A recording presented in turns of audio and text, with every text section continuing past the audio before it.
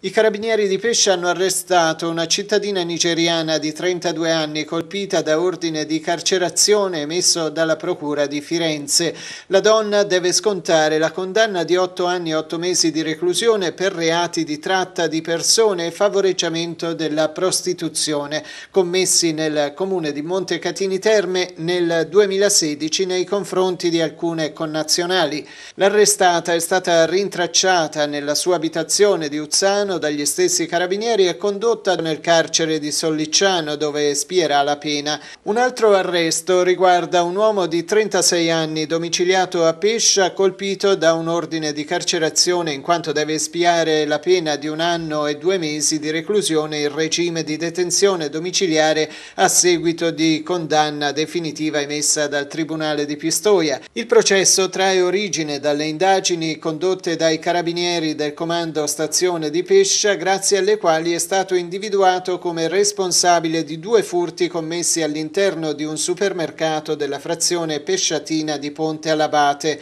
dove aveva rubato varie bottiglie di superalcolici ed alimenti costosi non di prima necessità per un valore complessivo di circa 400 euro. E sempre i carabinieri, ma questa volta del nucleo operativo radiomobile di Montecatini, hanno denunciato in stato di libertà alla Procura della Repubblica per i minorenni di Firenze Firenze due stranieri di 17 anni residenti rispettivamente a Pieve Anievole e Montecatini Terme per il reato di furto aggravato in concorso. I due minorenni nella nottata dell'11 gennaio scorso sono stati rintracciati nei pressi della stazione ferroviaria di Montecatini Centro mentre si trovavano a bordo di un ciclomotore rubato poco prima in Piazza Italia e di proprietà di una donna di Pistoia.